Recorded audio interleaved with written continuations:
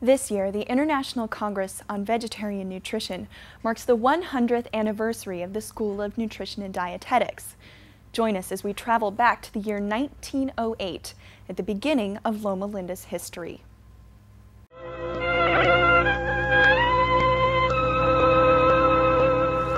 The year is 1908. Americans are still reeling from the effects of the Civil War, and the Arizona and New Mexico territories have not yet been admitted into the Union. Teddy Roosevelt is president, and in October, Henry Ford will introduce his Model T car to the world. It is the dawn of the 20th century, and most diseases are directly related to nutritional deficiencies and poor sanitation. Healthy living means staying away from sun, and nutrition is a relatively new word, rarely appearing in American hospitals where patients are fed mush, molasses, and beer for breakfast. It was in this time, 100 years ago, that the Department of Nutrition and Dietetics was born, offering Loma Linda's first class in nutrition. But unlike other nutrition schools, this program pioneered a completely vegetarian approach to meal planning. The curriculum, as it does today, included courses in anatomy, physiology, and chemistry. The Seventh day Adventist Church was founded in the 1860s. One of the core values that these early Seventh day Adventist leaders had was of health, particularly relating to diet. When the property was purchased here at Loma Linda in 1905, the vision was to have a training school where these core values could be incorporated into the values of young people.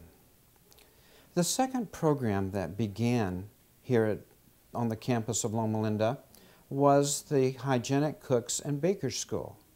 And the specific objective of this program was to teach appropriate cooking and baking so that this could be shared with the community members in the local area and around the world. But the world was not quite ready.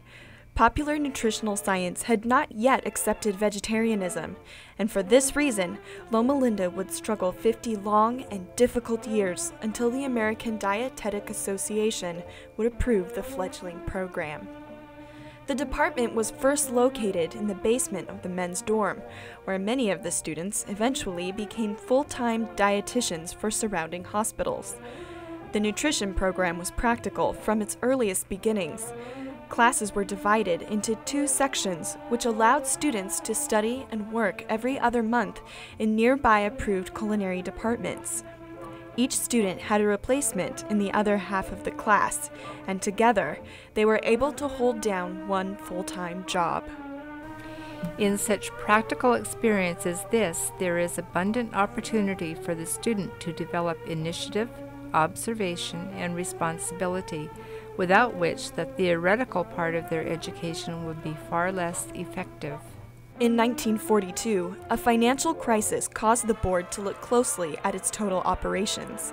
Loma Linda's emphasis on a lacto-ovo-vegetarian diet did not satisfy the ADA's accreditation standards, and attendance was dropping.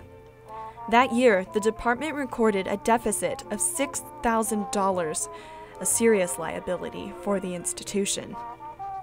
In the months that followed, it became clear that if the ADA did not accept the vegetarian program, the school would surely close. In the meantime, Mervyn G. Hardinge, College of Medical Evangelists class of 1942, successfully defended his thesis, leading to a doctorate of public health and nutrition from Harvard University, his landmark research concluded that a lacto ovo vegetarian diet was not inferior to a non vegetarian diet. His study at the time was reported as the most comprehensive study of vegetarians that has yet been completed, and it covered the nutritional adequacy of a vegetarian diet on a scientific basis for the first time. After the publication of several key nutrition studies, public opinion began to change. Nutritional knowledge increased, attitudes changed, and vegetarians entered the mainstream.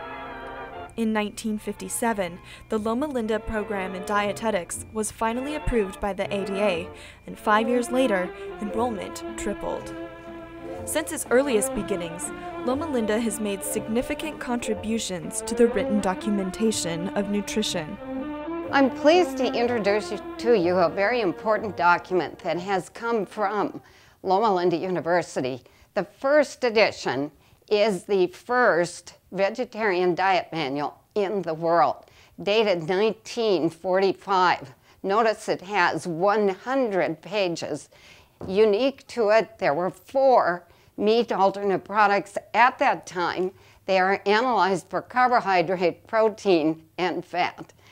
That series has continued with dietitians practicing in acute care facilities related to Loma Linda University, as well as faculty at Loma Linda University. This is the only series of vegetarian diet manuals in the world. Currently, the 2003 edition has 125, not four, 125 meat alternate products analyzed for not three, but 23 different nutrients. This covers diet recommendations throughout the entire diagnosis spectrum so that physicians order diets, dietitians turn to the diet manual for the foods that should be used and should not be used for a particular diet.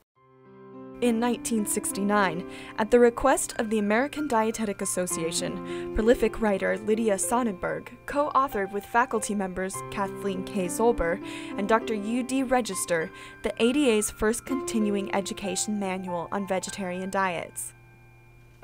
Dr. Zolber continued to serve in various capacities in the ADA and in September of 1982 became president of the 50,000 member association. Over the years, the Department of Nutrition and Dietetics has changed dramatically, but its health message and commitment to community has remained. For more than a century, Loma Linda has been at the forefront of vegetarian health, with more than 1,000 alumni in the field of nutrition spread throughout the world. Today, one AS, one BS, Four master's and one DRPH nutrition degrees are offered from Loma Linda as public interest in vegetarian nutrition reaches an all time high and continues to grow every day. Join us in celebrating this long history of nutrition education.